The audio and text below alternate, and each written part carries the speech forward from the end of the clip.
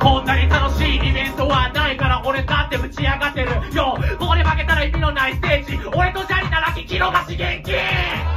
バッチリやべえラブいい感じで聞かしてくれよ、おめえめちゃくちゃやべえな。一回戦見れたら待ってわかるぜ。はダメなこともだから。何だけど話一緒だけどダメだしできたら。スパイしましょういや渋谷が爆心地見とけよ。俺7月出す EP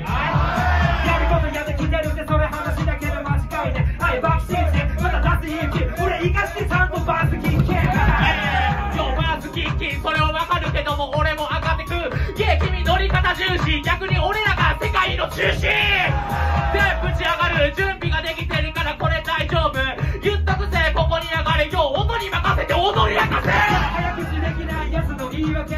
僕のラップ聞き取れません。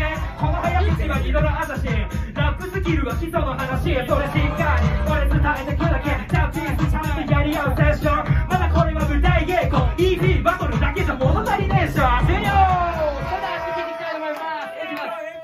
ンドここチャリ。ここチャリ今日にも大きな期待します。